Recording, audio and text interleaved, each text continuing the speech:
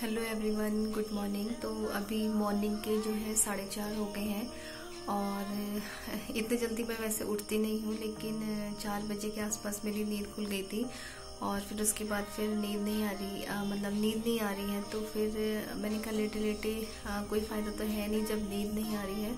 तो एक काम करती हूँ कि जल्दी से उठ जाती हूँ और जो भी छोटे मोटे काम हैं उन्हें कर लेती हूँ। फिर भी अगर मतलब अगर दिन में टाइम लगेगा तो फिर दिन में आ, सो जाऊँगी। मतलब जल्दी से जो भी सारे काम हैं उन्हें करने के बाद फिर दिन में तब भी दिन में आराम कर लूँगी।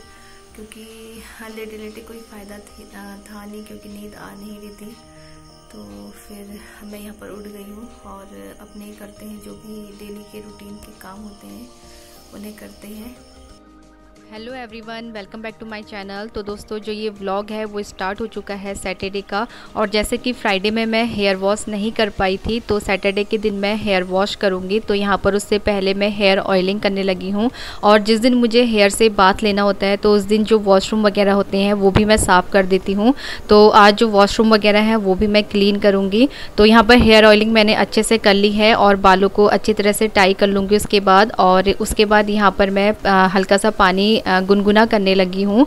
तो मॉर्निंग में या तो मैं थोड़ा सा जो पानी होता है गुनगुना वो ले लेती हूँ या फिर मैं चाय ले लेती हूँ और ज़्यादातर मैं चाय ही पीती हूँ, लेकिन कभी कभी जो गुनगुना पानी होता है वो पी लेती हूँ। मुझे खाली पेट पानी पीना अच्छा नहीं लगता है। बहुत से लोगों की आदत होती है कि जो लोग होते हैं वो खाली पेट पानी नहीं पी पाते हैं तो मुझसे भी खाली पेट पानी नहीं पिया जाता है। तो बस यहाँ पर थोड़ा सा जो है मैंने पानी गुनगुना कर लिया था और उसको यहाँ पर मैंने पी लिया है। और साथ ही में मुझे बनानी थी चना दाल चना दाल की जो दाल होती है वो बनानी थी। तो यहाँ पर उसको जो प्रेशर कुकर है उसी में सोक करने के लिए मैं रख लूँगी। और उसके बाद जो भी मेरा हाथ मुँह वगैरह था वो मैंने यहाँ पर धो लिया है। और मैं आ, आ गई हूँ फिर से किचन में। और यहाँ पर मैं चाय बनाने लगी हूँ। तो चाय यहाँ पर मैं बना लूँगी और मुझे सिंपल चाय मतलब जो एक किसी को होती है ना कड़क चाय पसंद होती है तो इस तरह की कड़क चाय मुझे पसंद नहीं है। एकदम माइल्ड सी चाय पीना मुझे अच्छा लगता है और बहुत से लोगों को होता है ना कि एकदम कड़ी हुई चाय पीना अच्छा लगता है। तो मुझे ज़्यादा कड़ी हुई चाय या मतलब ज़्यादा पकी हुई चाय वो भी ज़्यादा अच्छी नहीं लगती है और हाँ ज़्यादा कम भी नहीं पकनी चाहिए, लेकिन एक जो माइल्ड सा फ्लेवर आता है ना, उस फ्लेवर की चाय पीना मुझे बहुत अच्छा लगता है। तो जो चाय है वो भी यहाँ पर रेडी हो चुकी है और साथ साथ ही में मैंने जो थे आ, अपने काम भी कर लेते तो काफ़ी देर बाद मैं फिर आपसे so मिल रही हूँ। टाइम हो गया है पौने आठ और ऑलमोस्ट मेरा सारा काम हो चुका है। एक बार मैं सोच रही थी कि मैं मशीन भी लगा दूँ कपड़े भी धो लूँ फिर मैंने कहा नहीं यार बहुत हो जाएगा। आ, तो मशीन कल संडे है संडे को ही लगाऊँगी और साफ़ सफ़ाई वगैरह हो चुकी है। अब मुझे करनी है पूजा, जोत मुझे लगानी है तो बस उसकी ही तैयारी यहाँ पर मैं कर रही हूँ। और उसके बाद जो भी ब्रेक ब्रेकफास्ट है, उसकी, उसको मैं फिर मतलब बनाऊँगी। ज़्यादा कुछ नहीं सिंपल सा ही रहता है मेरा ब्रेकफास्ट वगैरह। तो ऐसा कुछ फैंसी रहता नहीं है। और पाँच सौ और मैंने ही जो है ब्रेकफास्ट करना है। तो यहाँ पर मैं सिंपल सा जो दाल रोटी होती है, वो बना रही हूँ। फिर जो मंदिर के बर्तन थे उन्हें मैं यहाँ किचन में ले आई हूँ। तो जो मंदिर के बर्तन होते हैं उन्हें यहाँ पर किचन में ही मैं साफ़ करती हूँ। क्योंकि जैसा कि आपको आपने देखा था लास्ट ब्लॉग में कि पूरा जो रात में मैं किचन को क्लीन करके सोती हूँ तो सिंक वगैरह सब कुछ साफ़ रहता है। तो यहीं पर ही जो है मॉर्निंग में मैं फिर जो आ, मंदिर के बर्तन होते हैं उनको भी क्लीन कर लेती हूँ। तो जो ये लिक्विड जेल रहता है उससे इनको मैं यहाँ पर साफ़ कर लूँगी। और जो मंदिर के बर्तन धोने वाला स्पंज रहता है वो भी अलग रहता है। तो बस यहाँ पर जो है मंदिर के बर्तन में क्लीन करने लगी हूँ।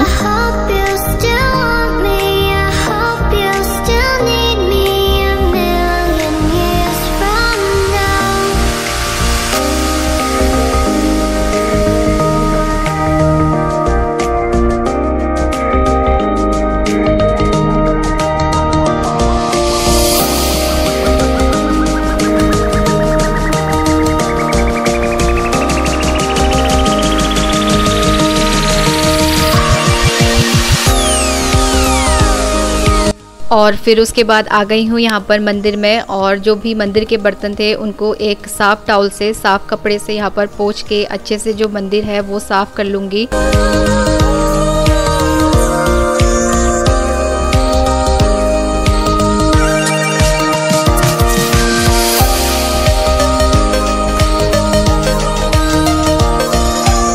और उसके बाद जो कछुआ होता है ना, कछुआ मैंने मंदिर पे रखा हुआ है तो उसी की जो प्लेट है उस पर मैं यहाँ पर पानी डालने लगी हूँ। टॉटॉइज तो उसकी जो प्लेट होती है उस पर यहाँ पर पानी फिल करने में लगी हूँ मैं, और जो पिठिया है, पिठिया पिठिया टीका जिसे बोलते हैं तो यहाँ पर इसको मैं घोल घोल लूँगी पहले।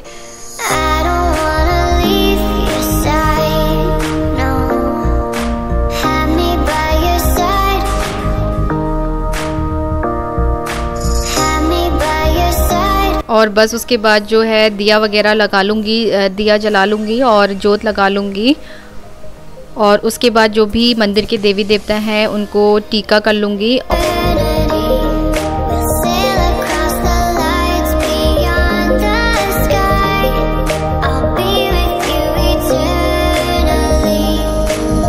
और हमारे ट्रेडिशन में क्या होता है कि जो मंदिर के देवी देवता होते हैं या किसी को भी टीका लगाना होता है तो पहले हम खुद को टीका लगाते हैं। तो बस यहीं पर मैं जो है अपने खुद को टीका लगाने लगी हूँ। तो मिरर तो है यहाँ पर मंदिर पे, लेकिन जो मंदिर का नीचे ड्रॉर होता है ना, उस पर था और काफ़ी सारा उस पर सामान था। तो मैंने सोचा कहाँ मैं मिरर निकालूँ? तो सामने से कैमरा लगा हुआ था। बस उसी को देख कर यहाँ पर मैंने टीका लगा लिया है और उसके बाद जो भी मंदिर में सारे देवी देवता हैं, उनको भी मैं टीका लगा लूँगी और फूल वगैरह चढ़ा लूँगी। होंगी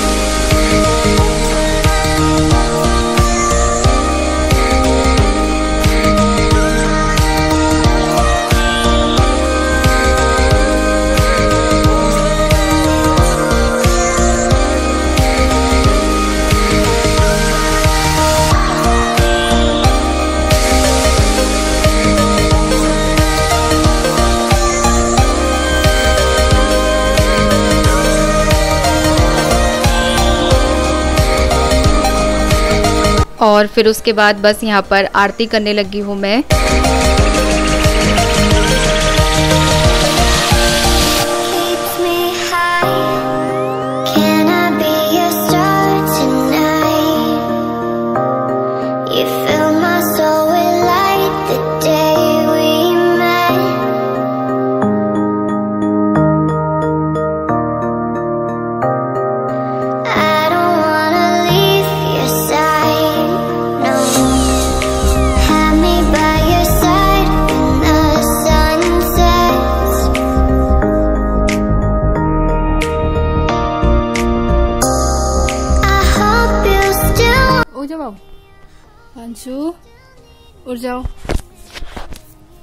उठ जाओ गुड मॉर्निंग गुड मॉर्निंग और इतना सब कुछ करते हुए आठ साढ़े आठ हो गया था तो मैंने सोचा एक बार पांसुल को भी उठा दूँ। रात को बहुत लेट सोया था इसलिए इसका उठना तो पॉसिबल था नहीं जनाब का। तो बस एक कोशिश मैंने की थी लेकिन इनको अभी उठना नहीं था तो बस फिर मैंने इनको आ, सोने दिया। और उसके बाद जो आ, बाल थे मेरे वहाँ बाल को मैं यहाँ पर कॉम करने लगी हूँ तो बाल को अच्छी तरह से कॉम करके उसके बाद जो बाल है उसको मैं टाई कर लूँगी क्योंकि मेरे लिए ये टास्क भी बहुत इंपॉर्टेंट होता है क्योंकि मैंने बताया था जैसे कि अगर मैं हाथों हाथ जब मेरे हल्के से गीले बाल हैं तब भी मैं कंगी ना करूँ तो इनकी हालत तो बहुत ही बुरी हो जाती है। तो बस यहाँ पर बालों को कॉम करने के बाद बालों को टाई कर लेंगे।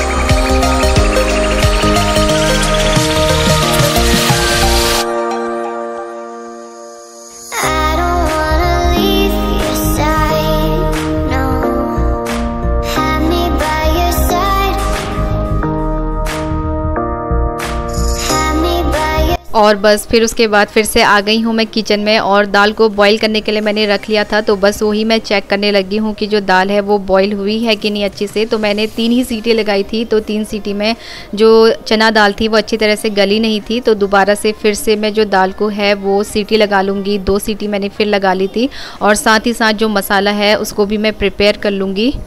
तो डेली कुकिंग में जो सारी चीज़ें होती हैं वो मैं हाथों हाथ ही करती हूँ। तो जैसे कि यहाँ पर मैंने जो तेल है वो पहले स्मोक करने के लिए मैंने रख दिया है। तो जितनी देर में जो तेल है वो स्मोक हो रहा है तो उतनी देर में यहाँ पर जो प्याज है वो मैं काट लूँगी। और जो ये प्याज था इसके अंदर से जो एक हार्ड पोर्सन होता है ना का, काफ़ी सारे प्याज में आ जाता है तो उस तरह से इसके अंदर था। तो जो प्याज है इसको मैं काट लूँगी और इसको धोने के बाद फिर मतलब मैं काट लूँगी।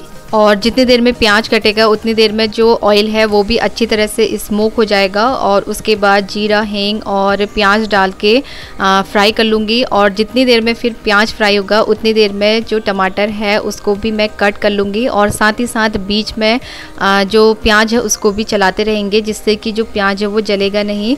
तो बस डेली कुकिंग में तो जो ये सारी चीज़ें होती हैं वो हाथों हाथ ही करती हूँ। हाँ लेकिन कोई वीडियो मुझे रेसिपी की सूट करनी है तो पहले से मुझे प्रिपेयर करके रखना पड़ता है सारी चीज़ों को।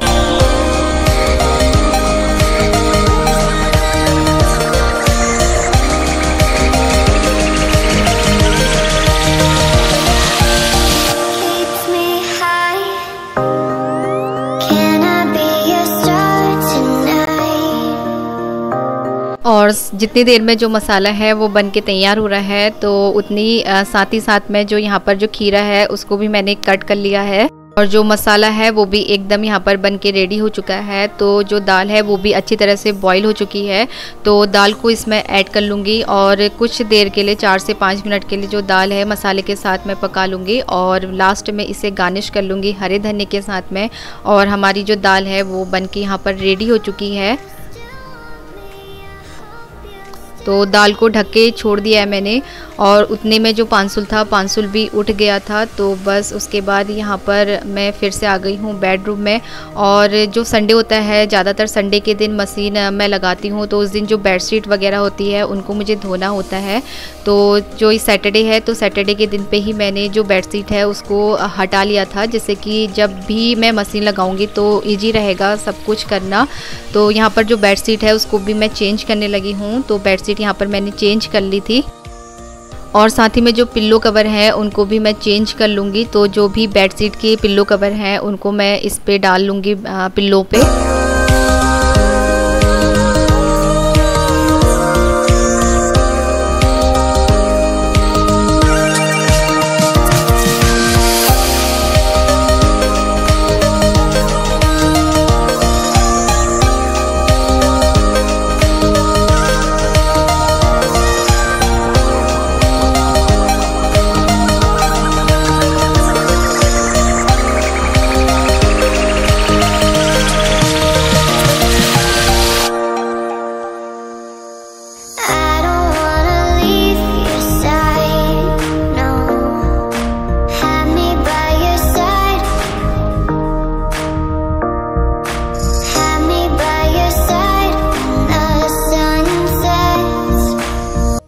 गाइस यहाँ पर टाइम हो गया है, मैं आपको दिखाती हूँ।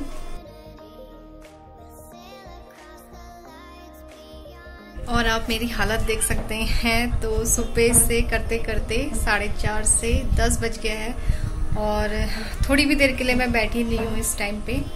तो बस ब्रेकफास्ट हो गया है, पाँच सौ रुपये उड़ गया है। थोड़े इसके जो बीच के काम होते हैं, वो भी थोड़े बहुत वो भी हो गए हैं। और अब लग रही है बहुत ज़ोर की भूख। तो सबसे पहले मैं नाश्ता कर लेती हूँ देन उसको उसके बाद फिर पाँच को नहलाऊँगी और फिर इसको ब्रेकफास्ट भी करवाऊँगी। चाहे कितने ही जल्दी उठ जाओ टाइम उतना ही होता है। और आ, मुश्किल से दो या तीन घंटा मैं सोई हूँ और मुझे अब नींद भी आने लगी है। आप मेरी आँखें देख सकती, देख सकते हैं तो और बस यहाँ पर जो है नाश्ता करने लगी हूँ मैं तो फुलके मैंने बना लिए थे, और साथ ही मैं थोड़ा सा अचार ले लिया था और सलाद ले लिया था। तो बस वन बाइट इसको खिला के यहाँ पर, फिर उसके बाद जो है मैं नाश्ता कर लूँगी, और फिर चलेंगे पानसुल को नहलाने के लिए।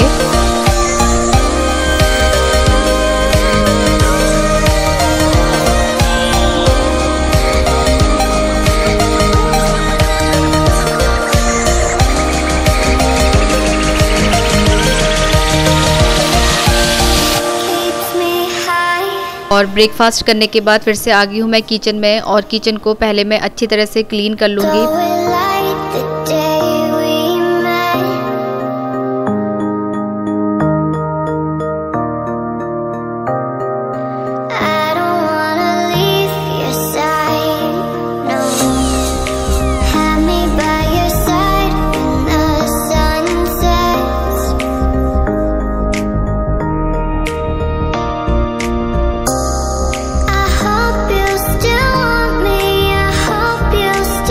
और किचन क्लीन करने के बाद बस यहाँ पर जो है इसको भी नहला दिया है और नहलाने के बाद फिर इसको भी ब्रेकफास्ट में करा लूँगी।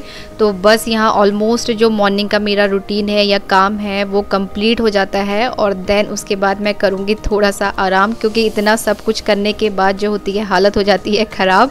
तो थोड़ी सी जो होती है वो मुझे फिर ज़रूरत होती है या तो लेटना होता है या फिर अगर नींद आ गई तो फिर मैं थोड़ी देर के लिए सो जाती हूँ। और फिर उसके बाद जो काम है वो स्टार्ट होंगे, फिर दिन के